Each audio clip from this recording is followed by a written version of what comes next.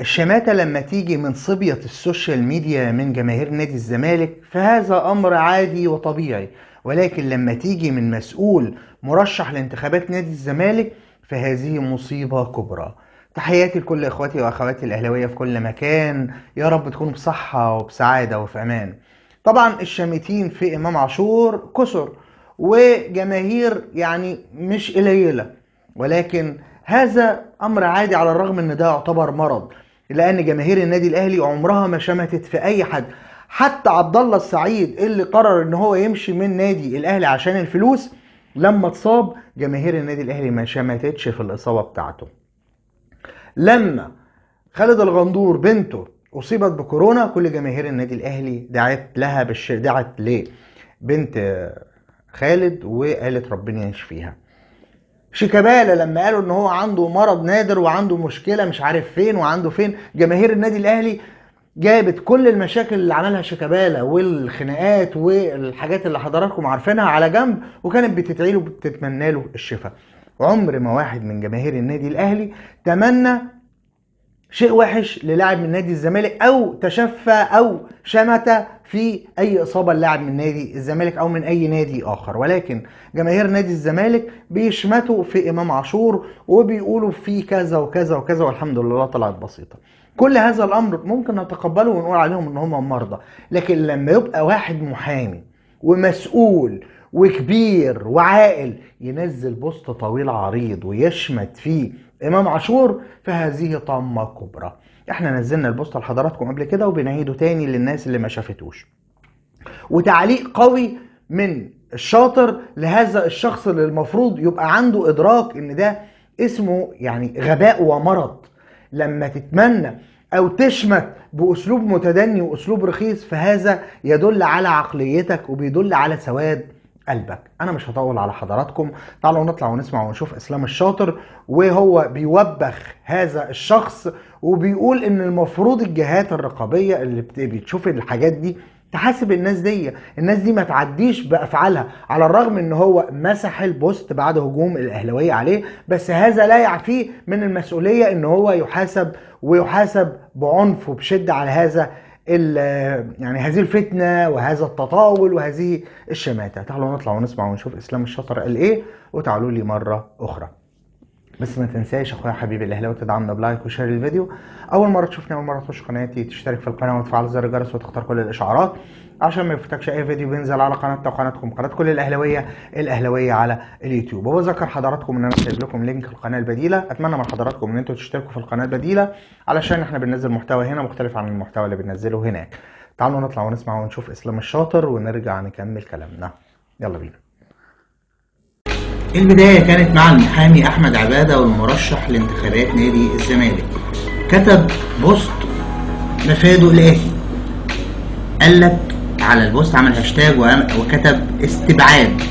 إمام عاشور ست شهور للإصابة وغيابه سنتين اللي بيجي على الزمالك دايما خسران. ألف سلامة للاعب.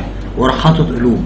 في أسلوب رخيص ومتدني للشماتة ولما لقي هجوم ضاري من جماهير الكرة المصرية وجماهير النادي الأهلي تحديدا فقرر إن هو يمسح البوست بتاعه. ولكن إسلام الشاطر رد بشكل مباشر وقوي على هؤلاء أشباه الرجال أو الغير يعني الناس اللي ما عندهاش روح رياضية ولا عندها نوع من أنواع الاحترام لنفسها في البداية قبل احترام الآخرين. نسمع إسلام الشاطر رد وقال إيه على الزملكاوية اللي عندهم نوع من أنواع الغل والغضاضة من أي شيء أهلاوي حتى لو كان ما كانش بيلعب في نادي الزمالك. على الرغم إن كل جماهير النادي الأهلي عمرها ما تمنت إصابة لاعب في نادي الزمالك أو شمتت في لاعب مصاب في نادي الزمالك. نسمع. فقرتنا الدائمه الحائط صوت عندما تسأل أين ذهبت شيم الرجال وأخلاق الكبار الحقيقة سؤالين مهمين جدا. إذا كنت تريد أن تسأل هذه الأسئلة فيجب أن تنظر إلى قطاع عريض من السوشيال ميديا الغير الأهلاوية بالمناسبة. يعني لما لاعب مهم في منتخب في النادي الأهلي ومنتخب مصر وقبل 24 ساعة من معسكر منتخب مصر بيتعرض لإصابة شماتة وتعليقات غريبة وغير لائقة. الحقيقة ياما الواحد شاف ولكن أنا ما شفتش كده. والله العظيم ثلاثة ما شفت. الرياضة ومنها كرة القدم هي تهذيب للنفوس. إمام عاشور زي زي أي لاعب. أكيد كان قلقان لما تعرض للإصابة لأنه يعني شايف إن مستواه بيتصاعد والأمور بتمشي. أنا شخصيا مش أنا أي حد يتعرض للإصابة في ظل تصاعد مستواه يبقى زعلان من نفسه أو زعلان على نفسه. ف إمام عاشور لما تعرض للإصابة لأنه كان لسه راجع من إصابة قبل انضمامه للنادي الأهلي وطلع عليها كلام كتير وقصص كتيرة وحواديت كتيرة ولكن الحمد لله جت سليمة. المرة دي يعني جت سليمة وكدمه بسيطة مع الراحة إن شاء الله يكون جاهز خلال الأسبوع 10 أيام لكن رد الفعل الغريب بالنسبة لي آه، محتاج وقت. عايزين تقول لي هقول لك الجماهير أو المناوشات الجماهيرية والهزار ده عادي ما عنديش مشكلة فيه. ولكن لما يكون في حدود الأخلاق والاحترام صحابي يهزروا مع بعض. حتى لو جماهير الأندية المنافسة بتهزر في مثل هذا الأمر أتقبلها. ولكن أتقبلها عندما تكون في إطار ان أنت بتسأل عليه بتهزر معاه يعني بتحاول ترفع من روحه المعنوية. عشان منتخب مصر مش عشان النادي الأهلي. عشان ما حدش يقول لي ما فيش زملكاوي ولا إسماعيلاوي ولا كذا ولا كذا. هيقول لا أنا بتكلم على منتخب مصر لكن هل حضراتكم عمركم شفتوا جمهور بيتمنى أو يشمت في إصابة لاعب يا ريت جمهور بس ده واحد مرشح نفسه في أحد الأندية طالع يتكلم على إمام عاشور لمجرد إن هو ما هي دي أصبحت ال- الحقيقة يعني ما رأيناه خلال السنتين الخمس ست سنين الأخيرة من صوت عالي. أدى إلى أن هناك البعض بيحاول إن هو يجرب كده على الرغم من انتصار الحق والاحترام في النهاية. الحق والاحترام اللي هو لما واحد يطلع يشتمك تعمل إيه؟ تنظر وتنتظر وتروح للقانون لأن إحنا بلد قانون والقانون بيجيب لك حقك والقانون جاب لك حقك في الآخر مهما كان الانتظار مهما كانت الكلمات. فده الأساس يا جماعة. عمركم ما تفكروا إن الأساس إن قلة الأدب ده أساس عمرها ما هتحصل. فواحد مرشح نفسه في انتخابات أحد الأندية وطلع يعني يتكلم كلام ما يصحش على إمام عاشور. أنا بكلمكم عن لاعب كرة قدم مصري وقبل معسكر لمنتخب مصر. مش بكلمك عن لاعب في النادي الأهلي. على الرغم من عمرك ما تلاقي حد من الأهلاوية بيعمل كده مع أي فرقة ثانية بالعكس. يا جماعة الكلام ده محتاج وقفه الكلام ده بجد محتاج وقفه أنا مش بقول كلام وخلاص ما يصحش. اللي بيحصل ده ما يصحش. لو كان حصل من جمهور الأهلي مع إن أنا متأكد إن جمهور الأهلي ما يعملش كده كنت هطلع أقول يا جماعة ما يصحش إن إحنا نعمل كده مع الجماهير مع جماهير مع لاعب هيلعب باسم منتخب مصر في النهايه كابتن حسام حسن لو تفتكروا انتقل من الأهلي للزمالك بعد نهاية عقده. ولما كان المنتخب آه، ساعتها بيلعب كابتن حسام كان مصاب. كان كل جمهور مصر بيسأل وبيطمن على حسام حسن كابتن حسام حسن هيلعب ولا لا؟ كل جمهور مصر الأهلاوية والزملكاوية. مفيش حاجة مفيش حاجة اسمها شماتة في مثل هذه المواقف. مش عشان تاخد لك صوت ولا صوتين من ناس متعصبين ها؟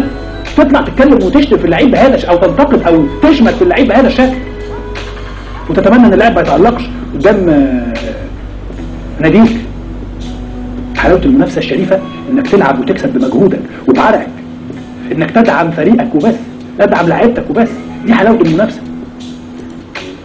لكن كمان آه، هنبدأ معسكر منتخب وفي الإمارات. فكلنا بنشجع المنتخب أهلاوية وزملكاويه هو أحمد فتوح لو عمل over عدل وجاب منه جول مش هطلع أقول أحمد فتوح ده أحسن back left موجود في مصر؟ هطلع أقول هذا الكلام. مش هيهمني لونه لون التيشيرت اللي هو لابسه. هو زيزو لما يشوف يجيب جول مع منتخب مصر مش هطلع أقول إن زيزو ده أحسن لعيب في المنتخب هطلع أقول.